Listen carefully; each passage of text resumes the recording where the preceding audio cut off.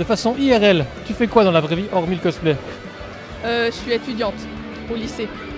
Je suis couturière. En archéologie. Enfin, concrètement, je fais du latin, mais j'aimerais être archéologue dans le futur. Ouais, un truc chiant quoi. Merci. Ça aide. Euh, genre, je crée des vêtements, je fais des retouches, je fais de tout, tout ce que je veux.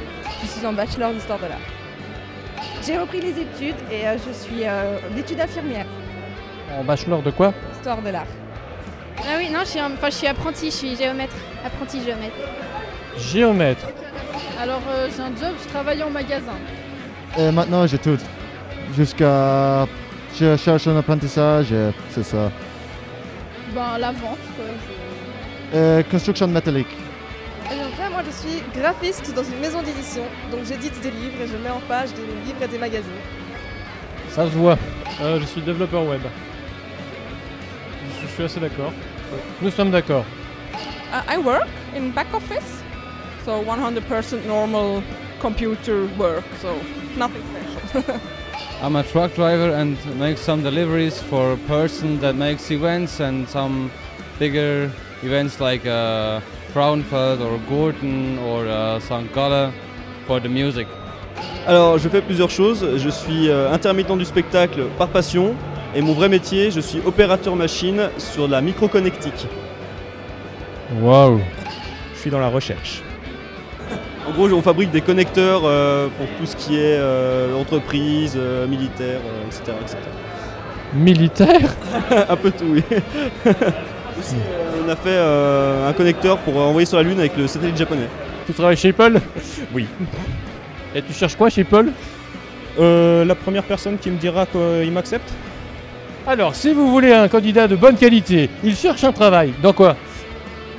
Dans la première chose, euh, bah, dans ce que vous proposez Il prend tout Alors moi dans la vie je suis euh, artisan pâtissier. Voilà. Ah oui, donc, en total rapport avec l'armure. C'est ça. Alors, euh, dans la vie, je suis actuellement étudiante en troisième année de médecine. Du coup, c'est un peu rien à voir avec euh, tout ce qui est cosplay et tout. Donc euh, travail artistique, euh, que- c'est-à-dire euh, en cosplay et aussi dans le métier. Voilà. Je suis un technicien itinérant pour la Suisse romande. Je travaille dans le monde de la photographie.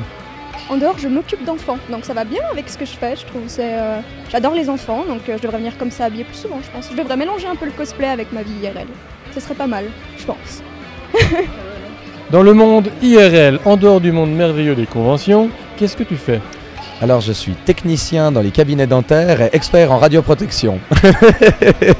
Rien à voir Je suis assistante euh, commerciale et administrative chez Dumont Sécurité, un truc qui vend des brancards, euh, des euh, défibrillateurs, extincteurs, euh, voilà. Ouais, pourquoi pas?